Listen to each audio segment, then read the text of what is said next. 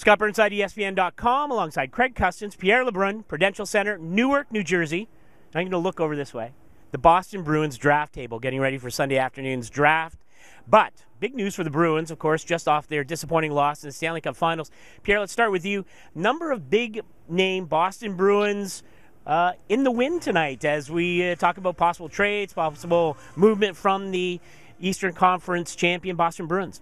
Yeah, Bruins GM Peter Chiarelli with a lot of balls up in the air. Number one, being informed by agent Paul Krepelka that Nathan Horton is not returning to the Bruins. He's going to test free agency. Uh, I guess the Bruins aren't good enough for him. I don't know. I'm just kidding. Uh, but for reasons I think that are not financial, Nathan Horton hitting the market. So that's a big hole for Peter Chiarelli, which is one of the reasons why Peter Chiarelli has contacted the Vincent Lecavalier camp and said, hey, make some time for us. We want to see what's going on on the Lecavalier front. So the Bruins are poking their nose in there. And of course, probably the biggest news of all, Tyler Seguin on the trade market, uh, which doesn't necessarily mean that he'll be dealt. But I think if he is dealt, that the Bruins are probably looking for a very high pick at the very least in that package.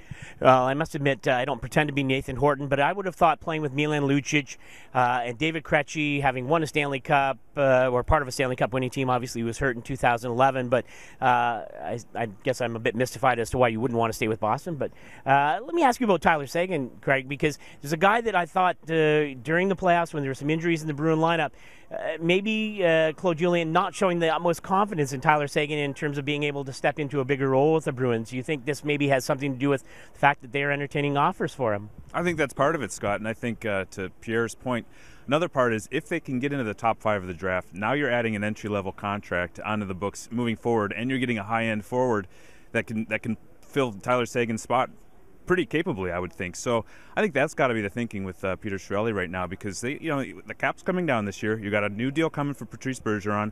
You got a huge deal coming for Tuukka Rask, and you know they still want to make some improvements there. You, I mean, Pierre mentioned Vinny Lecavalier, and so if you can bring in an entry level contract, that gives you a lot more flexibility than Tyler Seguin provides right now. Now, let me ask you this. Uh, so, Pierre, I'll throw this out to you.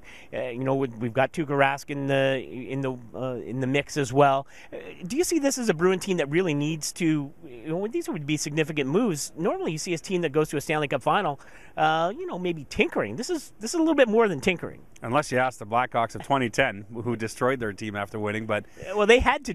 That was a that was a cap implosion. Now this is a little bit different. Well, but there is some cap element here because that's why they have to say goodbye to Andrew Ference, a player that they like because of the cap. It's why, in a lot of ways, I think Tyler Seguin's in play because if they can replace him with a high-end younger player, that means a cheaper player. And of course, uh, with the new deals with Bergeron and Rask, as you mentioned, they can't fit everyone in. Um, so, I, I mean, I, I, do think, you know, one part is a player just wanting to leave, and Nathan Horton. So that was something that Peter Chiarelli could not have seen coming before now. But in general, I do think the cap here for sure, going down six million dollars this year, has, plays a part here. Yep. Certainly be interesting to see how this plays in Toronto if Tyler Seguin does get uh, get moved, uh, given uh, the Phil Kessel trade and all of the hangover from that.